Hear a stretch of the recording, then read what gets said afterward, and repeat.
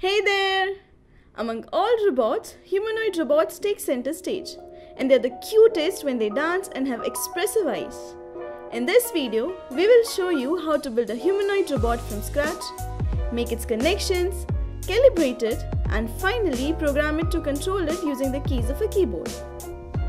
Before we start building the robot, let's first set the angles of all the servo motors that we are going to use to 90 degrees. First, connect the metal servo to servo channel 1. From the menu, select controls, then servos, then servo 1. Now using the potentiometer, set the servo angle to 90 degrees. Similarly, set the servo angle of the remaining 7 servos too. Now, let's get on with the assembly. Take the body base plate and attach two metal servos in the space given using M4 bolts. We will be making our entire robot on the base.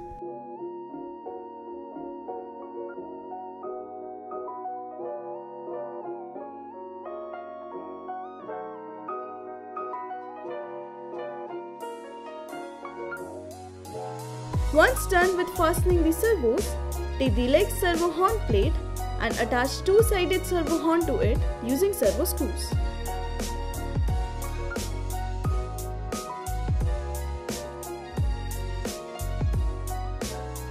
Repeat this step for the other leg.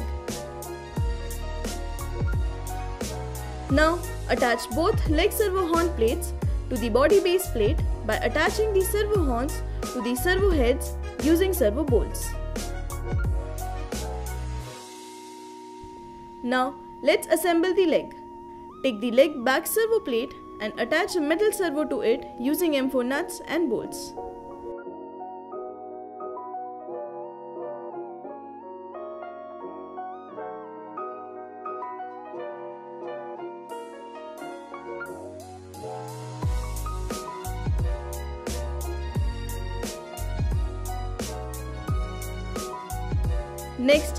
Attach the leg side plates to the leg back servo plate using M3 bolts of length 12 mm and M3 nuts. Then, take the leg bottom plate and attach it to the leg side plates using M3 bolts and nuts. Repeat the same process for the other leg. Then, take the leg front plate and screw M4 bolts and nuts to it in the hole given in the center.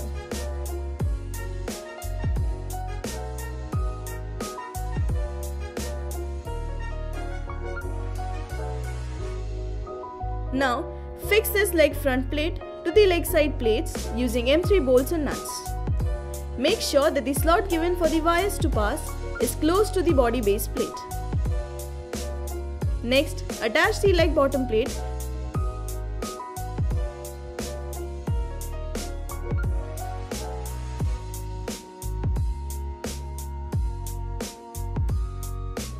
to the leg front plate and back plate using M3 bolts and M3 nuts.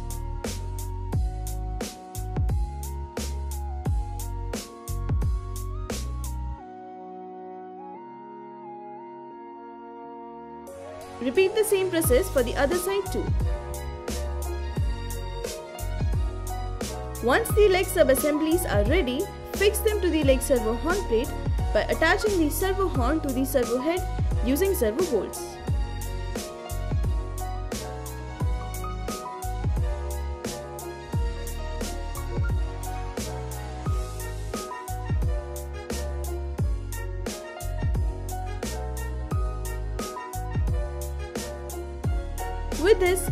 Assembly is complete.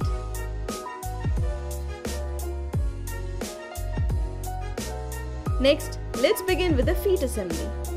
Take the foot base and glue it to the foot sole.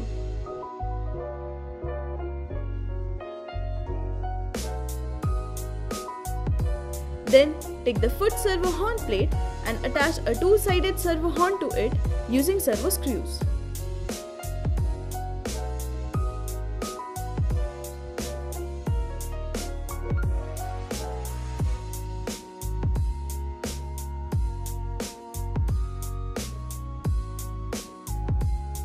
Next, place the foot servo horn plate on the foot base and fasten it using M3 bolts and nuts.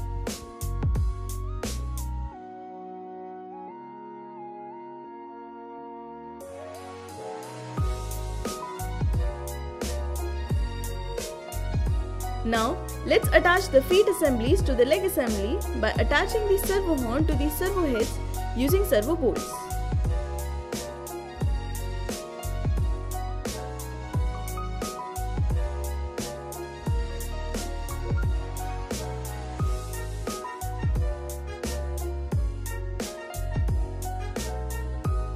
Then attach the foot front plate to the leg assembly using M4 bolts and M4 lock nuts.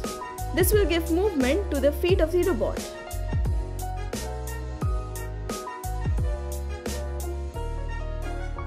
The lower body of our humanoid is complete. It's time to build the upper body. Let's start with the shoulders. Take the body side plates and attach the metal servo to it using M4 bolts of 15mm length and M4 nuts.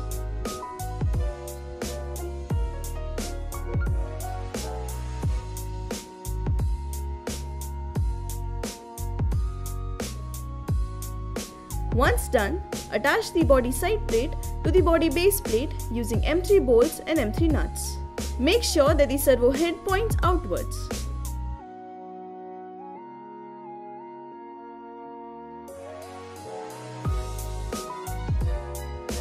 Now, take the shoulder servo horn plate and attach a double-sided servo horn to it using a servo screw.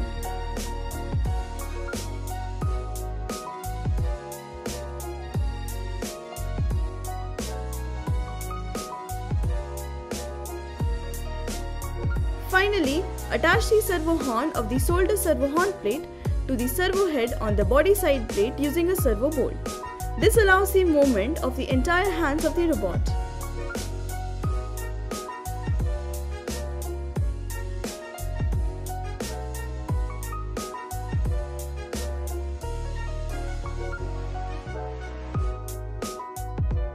Now, let's move on to the assembly of the arm.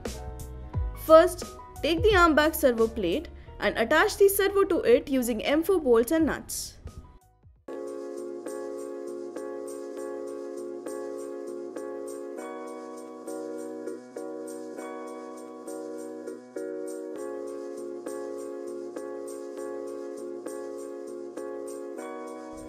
Then attach the arm bottom plate to the arm back servo plate using M3 bolts of 12mm length and M3 nuts.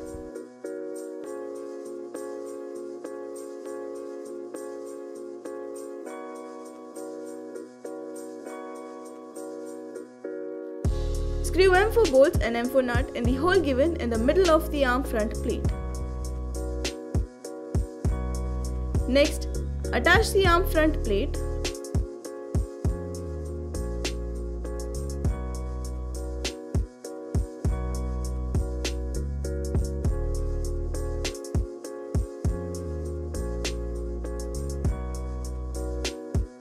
Take the arm top plate and screw the claw on it using M3 bolts and nuts. Fix the arm top plate to the arm front plate and the arm back plate using M3 bolts and nuts.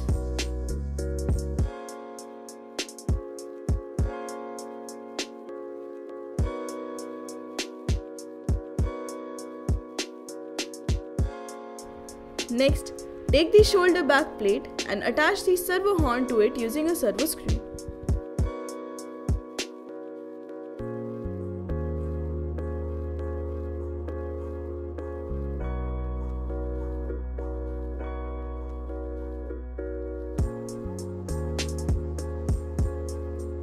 Attach the servo horn fixed on the shoulder back plate to the shoulder servo horn plate.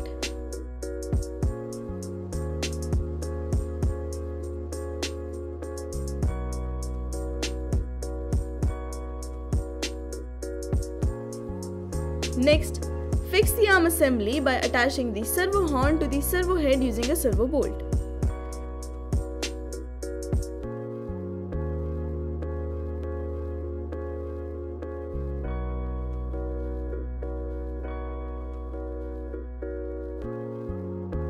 Make sure the arm is straight.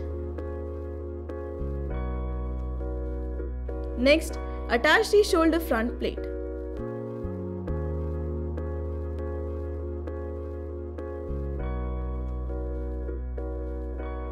Similarly, complete the second arm.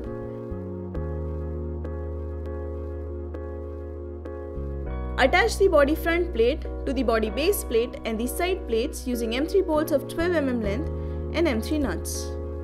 This will act as the base for the face of the robot. Now, let's assemble the back. Bring out the servo wires to the top by passing them through the slots given.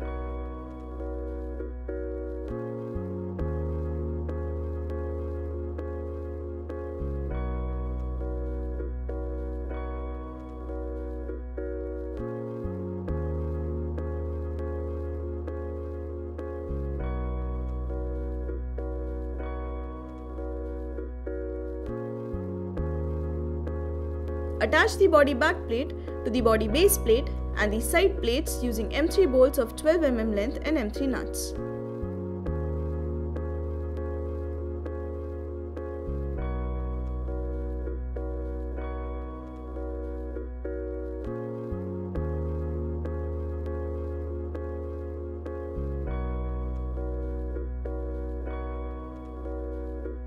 Now we need to make the eyes of the robot.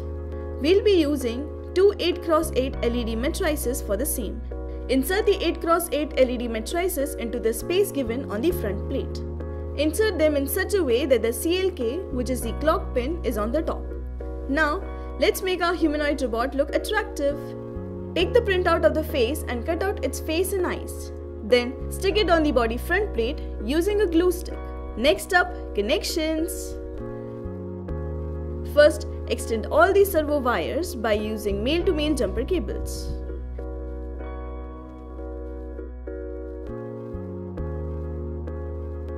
Next, take a 2-cell battery and place it inside the hollow space.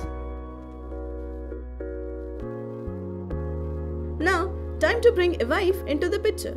Take two 55mm male to female standoffs and attach them to Evive. Then fasten Evive using M3 bolts of 12 mm length.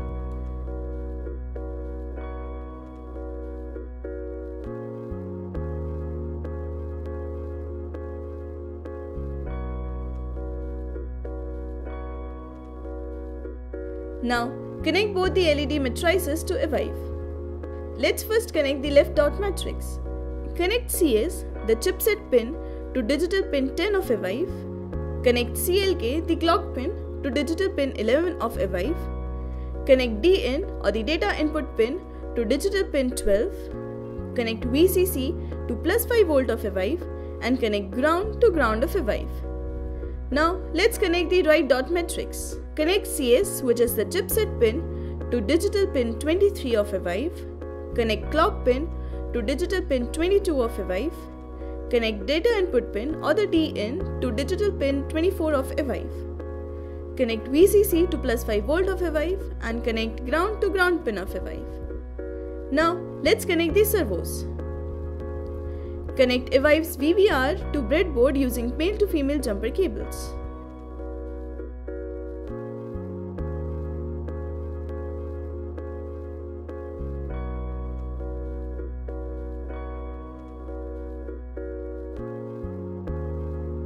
Connect the VCC of all servos to the VVR voltage line. Then connect the ground of all the servos to the ground line on the breadboard. Finally, connect the signal pin of all the servos to Evive.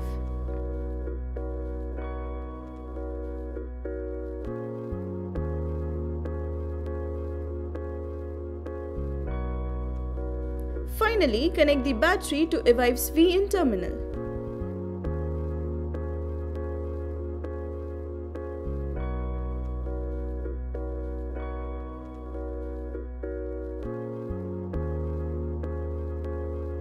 Now that the connections are done, it's time to calibrate our robot. We are going to calibrate it using PictoBlox. Open PictoBlox.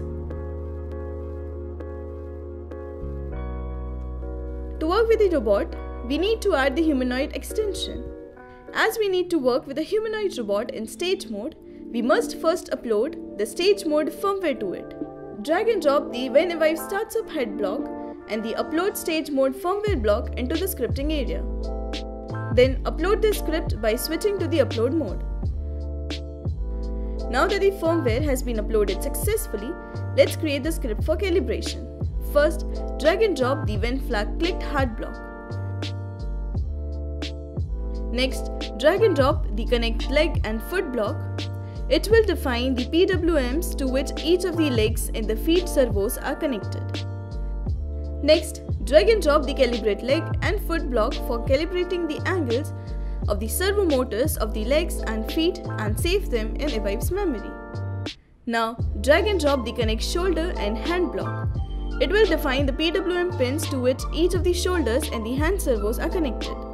Then, drag and drop the calibrate shoulders and hands block for calibrating the angles of the servo motors of shoulders and hands and again saving them in Evive's memory. Click on the green flag to run the script.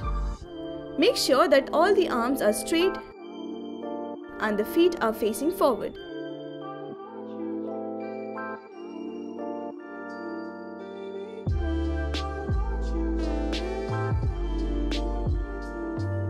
If not, fix the errors by changing the values accordingly in the calibration block. Once the humanoid robot is calibrated, we'll write a script to control it using the keys of the keyboard.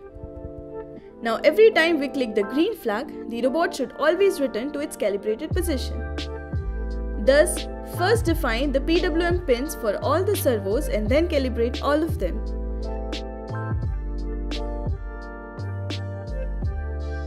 Finally, initialize the 8x8 LED matrices and define their pins too. Following are the controls for the humanoid robot. When up arrow key is pressed, the robot should move forward and should have circular eyes.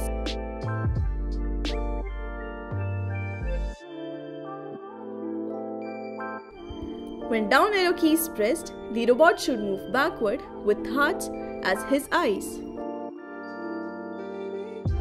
When the right arrow key is pressed, it should turn right with normal eyes. When the left arrow key is pressed, it should turn left with the cross in his eyes.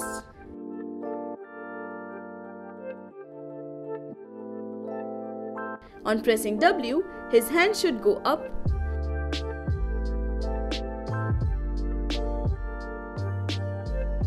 On pressing S, the hand should come back down to the default position.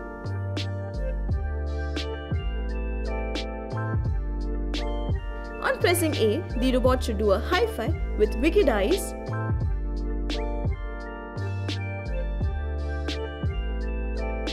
And on pressing D, it should do a handshake with circular eyes.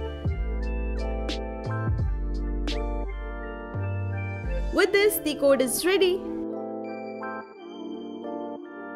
Click on the green flag to run the script. Enjoy!